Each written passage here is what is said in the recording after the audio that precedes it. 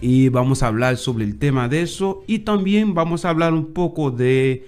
eh, lo que pasó el día 30 de septiembre de 2022 en nuestra frontera Haití, Dajabón, entre Dajabón y Guanamete, y donde el presidente que está viendo ahí en la pantalla, Luis Abinadel, según el presidente del país vecino de la República Dominicana, donde en nuestro territorio Luis Abinadel había mandado un grupo de terroristas, uh, sí, un grupo de, terroristas uh, en nuestra frontera. Uh, entonces, todavía estamos esperando a Luis Abinadel pedir disculpa público por este falta de respeto que había hecho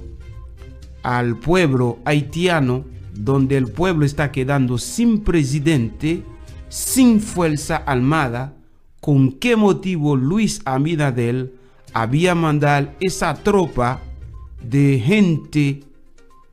terrorista en nuestra frontera haitiana y ayer, que, que era el 2 de octubre 2022, también Luis Abinadel, el presidente de la República Dominicana, manda a quemar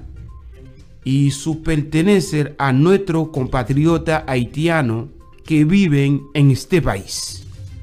Estamos hablando del presidente Luis Abinadel.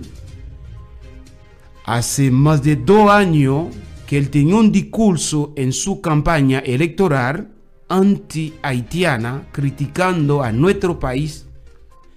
eh, donde que él tenía dos falsas promesas que, que, que lograra engañar el pueblo dominicano con dos falsas promesas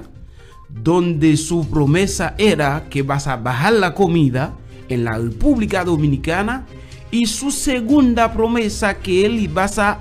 deportar o echar a todos los inmigrantes haitianos en el país. Entonces, como el pueblo, la gran mayoría, no voy a decir todo, la gran mayoría de, los dominicanos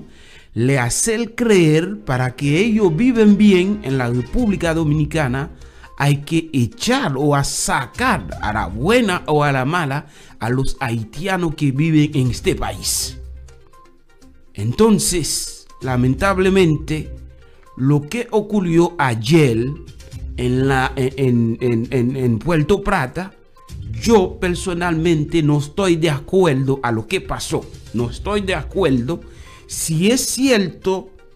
es un compatriota haitiano que ha hecho este caso criminal. El gobierno, la justicia dominicana tiene que asumir su responsabilidad para que este haitiano le entrega a las autoridades para que cumplir su condena, siempre y cuando que ello tiene lo antecedente. Señores, estamos viviendo en el siglo XXI. Hace unos meses, yo en mi programa, yo había dicho en varias ocasiones cuando pasa algo en la República Dominicana, el país vecino, la gran mayoría, voy a volver a repetir en este mismo micrófono, cuando ocurrir algo en la República Dominicana, la gran mayoría de los dominicanos lo que hacen ellos meterse en la casa de los haitianos inocentes que no tienen nada que ver el tema quemando su casa, o sea, quemando su pertenencia y robar a lo que ellos tienen que robar. Entonces, según la orden que había dado el presidente Luis Abinadel,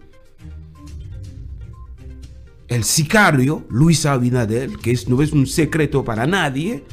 si yo estoy diciendo el sicario, porque Luis Abinadel, usted lo sabe muy bien que, era un sicario. Por algo lo puso su foto ahí en la pantalla. Por algo. Usted está viendo la foto de Luis Abinadel, que que no es, para, no, no es un secreto para nadie que Luis Abinader es un sicario, porque en su gabinete está llena de narcotraficantes. Le engañaron el pueblo dominicano.